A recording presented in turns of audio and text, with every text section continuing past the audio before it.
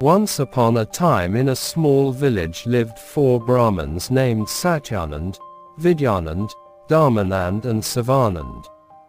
They had grown up together to become good friends.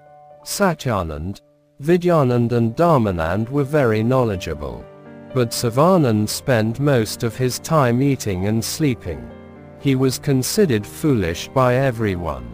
Once famine struck the village. All the crops failed. Rivers and lakes started to dry up. The people of the villages started moving to other villages to save their lives. We also need to move to another place soon or else we will also die like many others, said Satyanand. They all agreed with him. But what about Sivanand? asked Satyanand. Do we need him with us? He has no skills or learning. We cannot take him with us, replied Dharmanand. He will be a burden on us. How can we leave him behind? He grew up with us, said Vidyanand.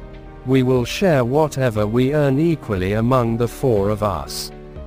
They all agreed to take Sivanand along with them. They packed all necessary things and set out for a nearby town.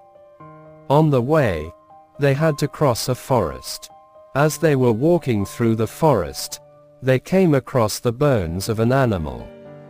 They became curious and stopped to take a closer look at the bones. Those are the bones of a lion, said Vidyanand. The others agreed. This is a great opportunity to test our learning, said Satyanand. I can put the bones together. So saying, he brought the bones together to form the skeleton of a lion.